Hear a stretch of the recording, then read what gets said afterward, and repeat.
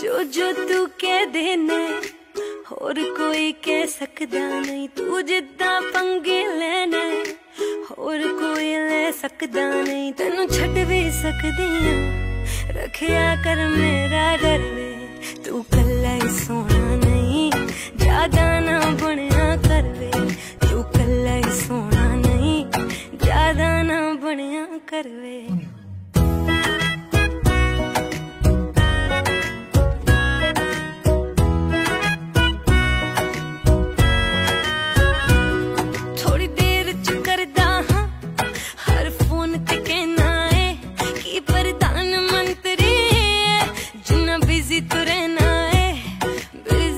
रहना है।